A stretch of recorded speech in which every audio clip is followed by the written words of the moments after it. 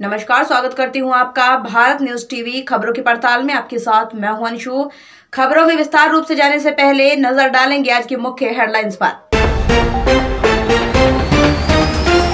लेते हैं मध्य प्रदेश के खरगोन ज़िले की जहाँ बड़वा, नावघाट, खेड़ी स्थित श्री दादा दरबार हॉस्पिटल में भर्ती मरीज़ की बिना ब्लड सैंपल लिए ही जाँच रिपोर्ट देने पर परिजनों ने हंगामा काटा। आपको बता दें कि रतनपुर के संजय परिहार ने बताया कि भाभी ममताबाई परिहार की तबीयत खराब होने पर दादा दरबार हॉस्पिटल ले गए थे। डॉक्टर ने देखने के बाद भर्ती किया, तीस प्रतिशत इन्फेक्शन बताकर इलाज किया। सुबह डॉक्टर द्वारा जाँच करवाने के लिए लिखा गया, लेकिन बिना ब्लड सैंपल लिए ही रिपोर्ट बनाकर दे दी गई। इसको लेकर ब्लॉक कांग्रेस अध्यक्ष डोंगर खंडाला ने भी अस्पताल प्रबंधन के खिलाफ आक्रोश व्यक्त किया। मामले में परिजनों ने एक सौ इक्यासी पर शिकायत भी दर्ज कराई। दादा हॉस्पिटल।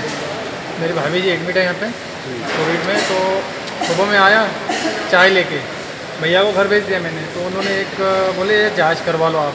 चार जाँचें, उन्होंने अलग एक कागज़ में लिख के थी बोले जाँच करवा लो। मैं काउंटर पे आया, इकतालीस सौ दस रुपये की थी जाँचें। तो मैंने पैसा जमा करा और चार नंबर में गया। चार चार नंबर में मैंने जमा करा, बोले, भैया, आप जाँच कर लो।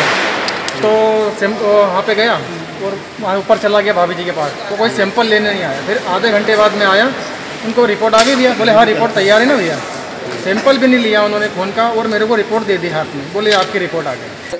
मेरे गाँव की हमारी रिश्तेदार महिला ममताबाई पति नंदराम, जिसको चेस्ट सिटी श्री दादा दरबार हॉस्पिटल बढ़वा में कराया गया उसको 25 से 30 प्रतिशत लंग्स में इन्फेक्शन बताया गया है।